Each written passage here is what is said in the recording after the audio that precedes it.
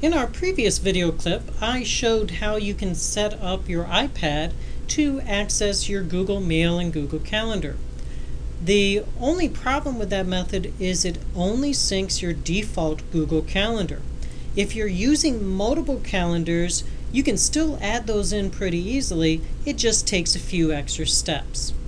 The first thing you're going to do is go to Safari. And here you're going to go to m.google.com.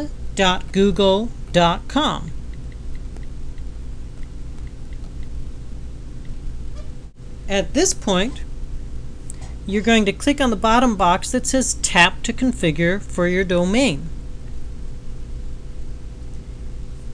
In this field, you're going to type in sbc.edu and click on Go. Now you're going to click on the Sync button and then you'll want to click on Sign in with your Google Apps account. This will ask you usually to log in with your SBC username and password. Mine was already in, so it went directly in there. And you should see a list of all sorts of different devices, including your iPad.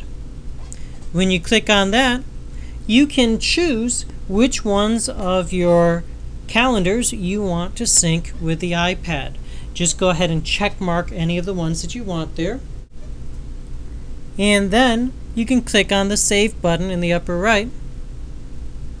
And now your calendar selections will be saved. And when you go into the Home button and go to your calendar, you should see all the different calendars show up in your calendar now.